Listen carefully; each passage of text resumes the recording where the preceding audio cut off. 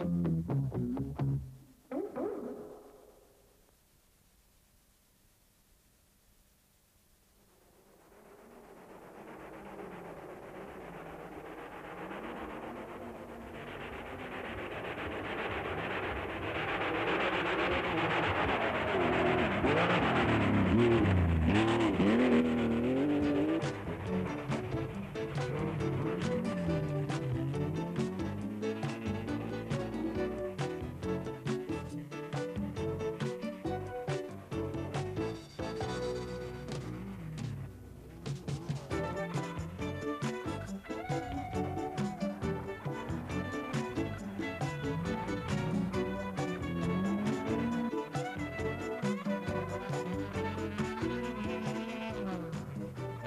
1983 års Mira-rally blev en ännu större succé än förra årets upplaga. Inte nog med att tävlingen samlade hela den svenska eliten.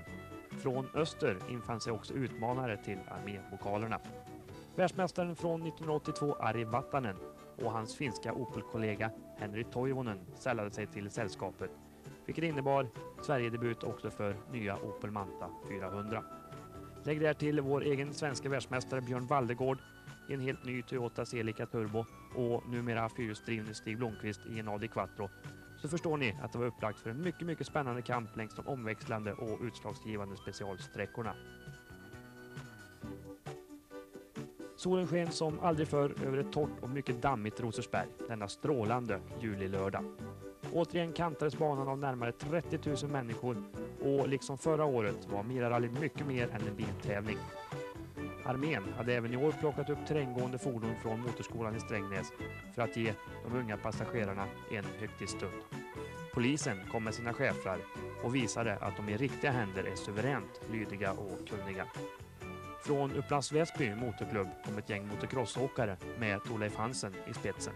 Allt var alltså upplagt för succé. Startfältet var ett av de namnkunnigaste landet skådat. Generationsklyftorna sprängdes med besked. Här fanns de gamla stjärnorna, som man trodde slocknat, men så inte. Ålderman denna gång fick Harald Kronegård, 63 år ung vara. Något som dock inte hindrade Bosse Ljungfelt, nybliven 61-åring, från att åka ifrån Harald. Bland ungtupparna fanns hela juniorlandslaget. Här fanns Mikael Eriksson och Lars-Erik Torp. Här fanns de garvade svenska stjärnorna som Bror Danielsson, Ingvar Karlsson, Nalle Johansson, Ola Strömberg och Kalle Grundel för att nämna några. Och här fanns de etablerade världsstjärnorna som Stig Blomqvist, Per Eklund, Henry Toivonen, Ari Vatanen och Björn Valdegård. Allt vad som gjort för ett stjärnornas krig på arméns och civilförsvarets fina vägar.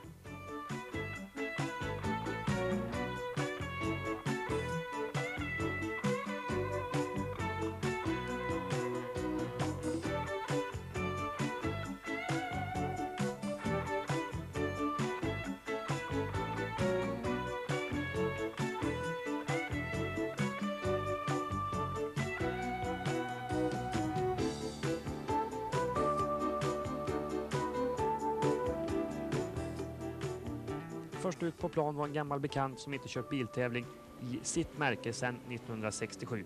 Tom Trana i en Volvo förstås.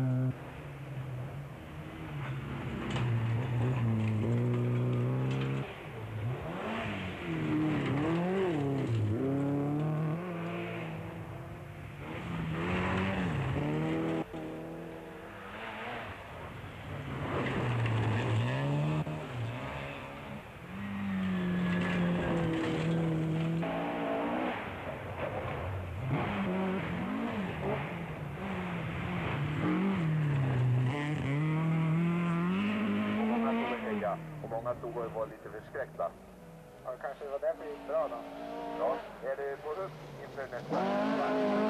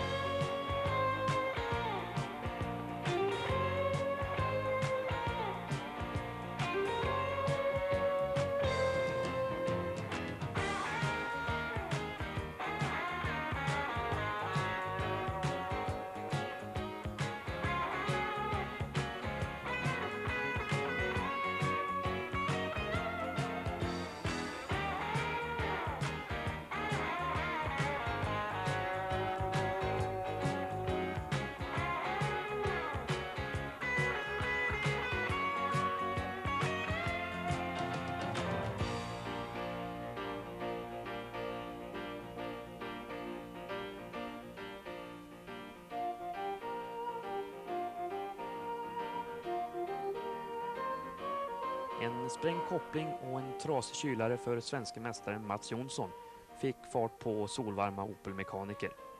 En sten hade slagit sönder kylaren. Men med kunnande, skicklighet och snabbtänkthet jobbade sig mekanikerna igenom problemet. Den tillmätta tiden skulle fått en verkmästare att blekna i solskenet. Men här under bilen sken minsann inte solen. Och medan Mats och hans kompisar jobbade så tickade minuterna iväg. Frågan var om de skulle hinna byta de trasiga delarna eller om Mats skulle tvingas bryta. De hann. På 13 raska minuter bytte man både koppling och kylare och Tages pöjk från Edsvalla utanför Karlstad var med i tävlingen igen. Under tiden som det Jonssonska teamet arbetade för högtryck rullade ekipage efter ekipage ut på den tredje specialsträckan. Här Ingvar Karlsson. Och ute på denna sträcka gick det riktigt galet för Mikael Eriksson som rullade framlänges tre varv med sin AD80 Coupé.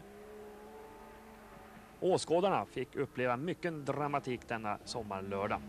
Av de tävlande var det tre som aldrig kom i mål, förutom Mikael Eriksson även Lars-Erik Torp, den lovande junioren, som fick bryta med trasig drivaxel. En annan junior, Stig Andervang, körde av in i skogen på specialsträcka 2 och kom aldrig därifrån.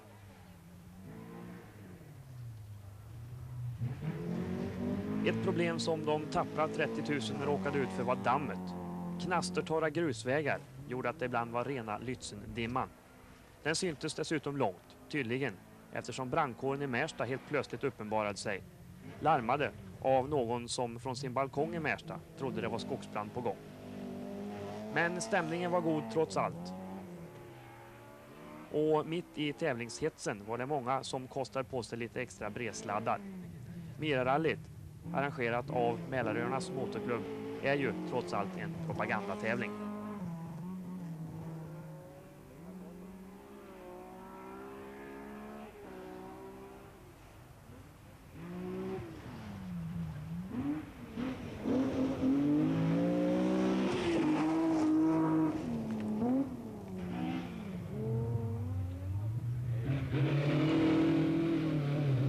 Rallyt höll sig minsann inte med några dåliga föråkare.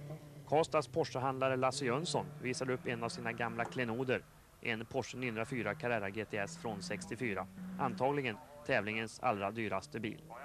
I Ålborgsklassen kom Lars-Ingvar Ytterbring från Köping i en mycket snyggt iordninggjord Fiat 131. Under sin eh, aktiva karriär var Lars-Ingvar firmaförare för både BMC och Opel.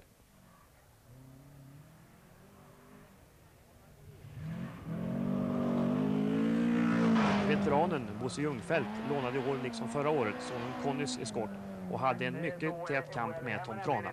Bosses kartläsare, försäkringsdirektören Per-Erik Hassler från IA-gruppen, en av tävlingens sponsorer, fick ingående lära sig vilka som är hans kunder och hur de beter sig. Han var djupt imponerad efter tävlingen.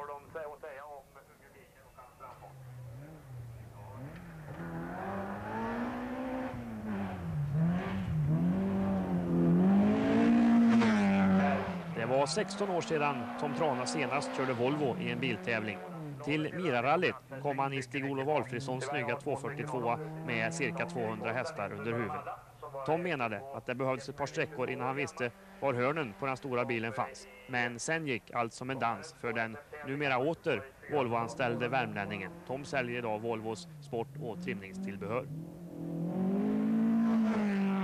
Den verkliga åldermannen i gänget var Harald Kronegård. 63 har han blivit, men det var det få som trodde. Hans Alfa Romeo var ganska standardbetonad, men Harald gasade friskt och hans kartläsare längs vägarna mående Jan Einebrand från civilförsvaret hade aldrig tidigare farit fram så fort på de för honom så välkända vägarna.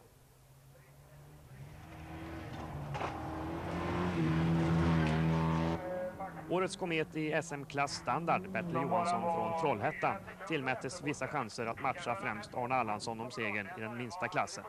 Och Bertil laddade fullt med V4 och klarade av både Allansson och flera andra, men riktigt fram till seger räckte det inte.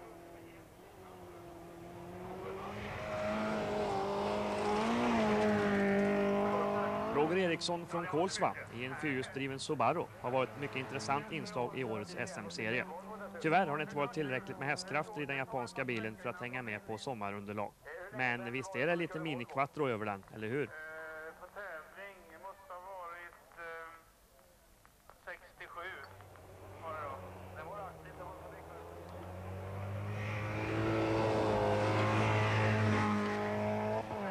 SM-brons blev det i år för smålänningen Simon Olsson i standardklassen. En förare som verkligen inte släpper gasen i första taget på sin Fiat 131. Eh, Bilen som du har eh, kört idag, det är alltså Stig-Olof Wolfensson, den yngste i klanen Wolfenssons eh, Volvo 242. Ja, det är det.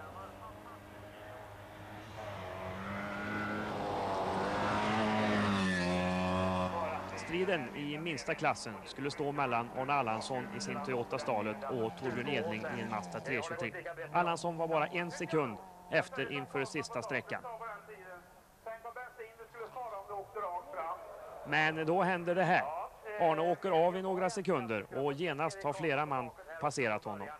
Men han är en sevärdhet, vare sig han vinner eller ej, Allan Sladd från Ludvika. Erik som alltså är en PR-man och som åker runt hela världen. Det är ju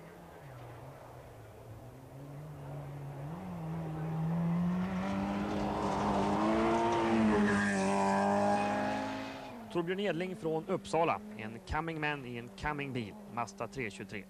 Ett projekt som ses med stor spänning i rally-Sverige. Ska Mazdan bryta Toyotas dominans i minsta klassen? Ja, projektet är ännu i sin linda, men i Mira-rallyt var det Edling som drog det längsta strået och vann klassen.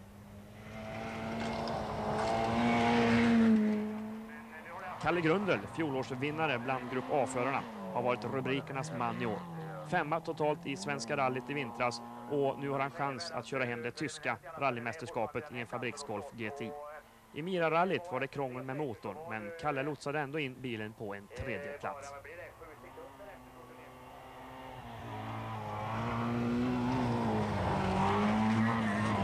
Björn Alle Johansson kör i år en Manta i Grupp A efter den racermaskinen Ascona 400 han använde i fjol.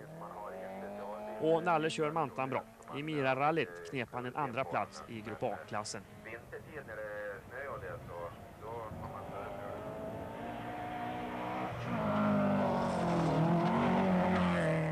Sören Nilsson har kört en Datsun Bluebird Turbo i år.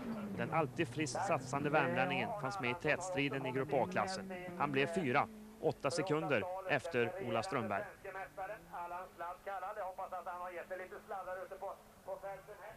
Inför sista sträckan var det en enda sekund efter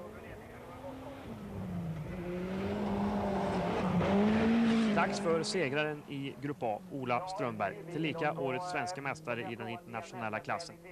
Ola körde bort sig i fjolårets Mira-rally och var fast besluten att ta revansch.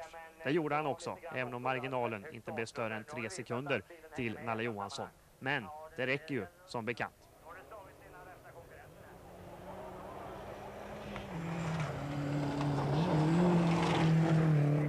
Danielsson var trea totalt i fjolårets Mira-rally, då i en Ford Escort.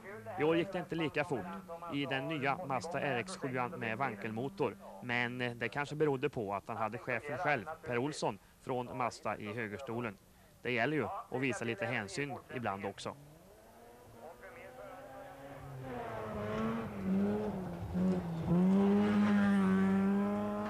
Gunnar Pettersson kör en Audi 80 Coupé från stall Stig Blomqvist. Gunnar har gjort flera utmärkta SM-tävlingar i år med den femcylindriga bilen som kanske låter en aning ihåligt men som går mycket fort.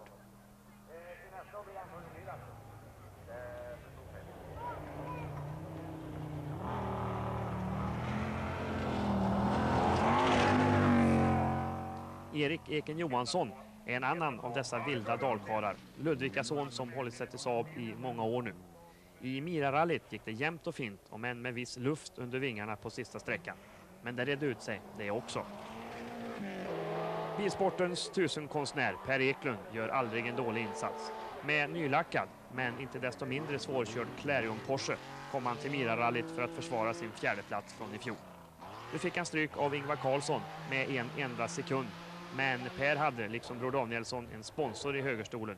Så det kanske blev fart därefter.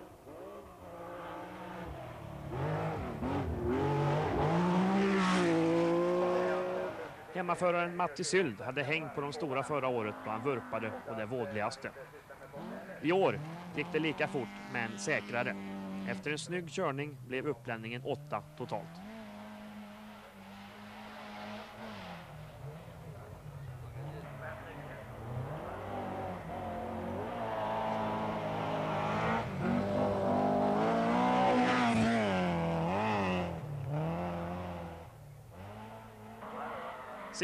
Så fint han kör, Mats Jonsson. Han behövde tydligen lite extra adrenalin för att få riktig tyngd i högerfoten. Årets svenska mästare gjorde tider på de två sista sträckorna som inte stod proffsen långt efter. Visst är det snyggt och elegant när han kommer. Hans SM-guld var väl närmast ett brev på posten.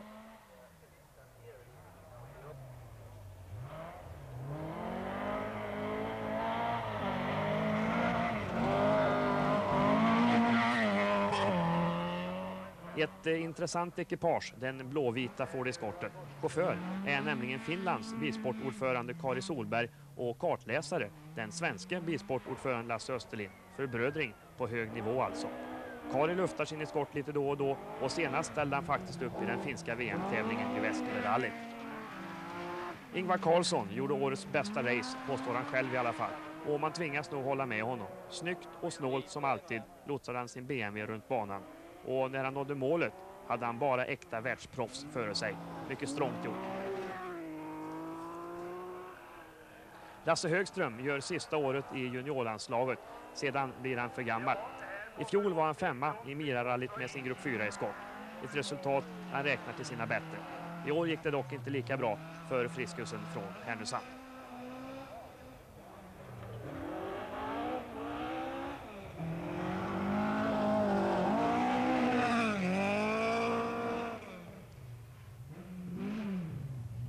Ari Vattanen hade dagen till ära hustru Rita som kartläsare.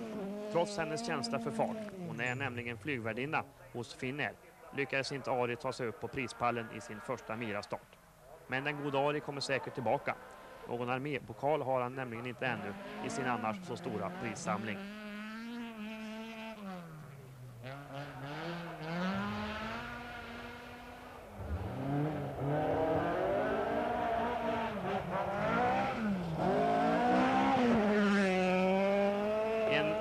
Frisk fläkt från öster är onekligen Henry Toivonen. Titta bara på den här slow motion sekvensen. Stockholmaren Benny Melander fick onekligen en skjuts. Det prutas minsann inte i onödan av den gode Henry Toivonen. Antingen eller är hans devis. I Mira-rallyt fick han också nöjet att bli bäste finländare, trea, före sin kollega världsmästare Vattanen. Det satt säkert skönt.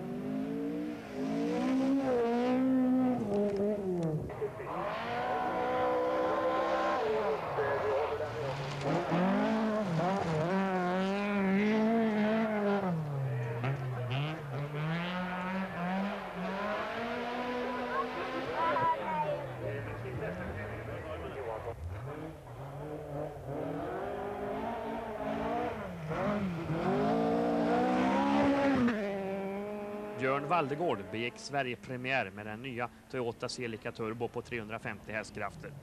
Och det var mycket nöjd Valdegård som klättrar upp till prisutdelningskullen efter tävlingen. Bilen hade gått perfekt han hade, och han hade blivit tvåa. Undra på att han då log.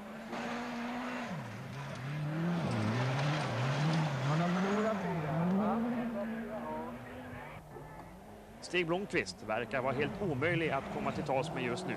Det är väl i princip bara hans stallchef som kan få honom bort från första platserna. Trots en snurrning på första sträckan och en trasig främre drivaxel i slutet av SS2 och under hela den tredje sträckan körde Stig mer eller mindre skjortan av konkurrenterna. För andra året i rad fick Mira-rallyt en värdig segrare och det blev samma mästare igen, Stig Blomqvist.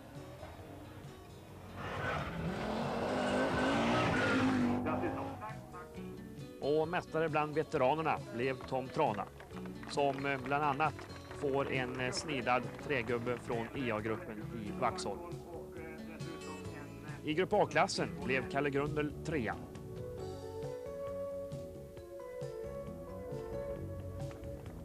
Björn Alle Johansson tvåa.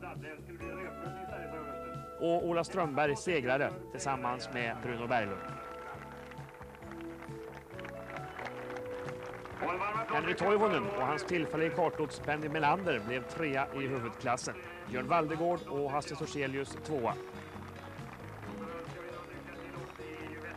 Och segrare som vanligt Stig Blomqvist och Björn Sederberg som i pris bland annat får en specialsignerad och för detta tillfälle specialgjord litografi kallad Fart av internationellt kände konstnären Bengt Lindström.